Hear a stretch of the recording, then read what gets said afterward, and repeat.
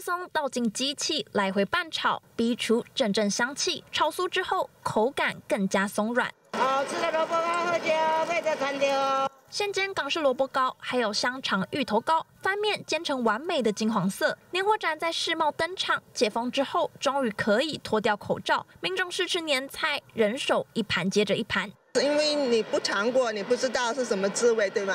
我就喜欢煮新鲜的，但是我就是小吃也会买一点，看一看有没有什么奇奇形怪状的，比较比较新奇的，看到想吃就买。坚果还有那个。那什么，我不知道什么饼，牛牛轧饼。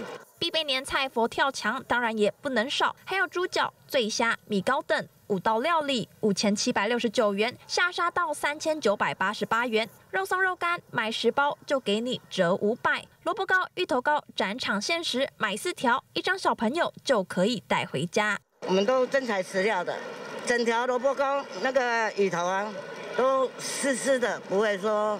像别人都碎碎的，稍微热一下就可以了。那现代人，你叫他去学米其林的话，不可能啊。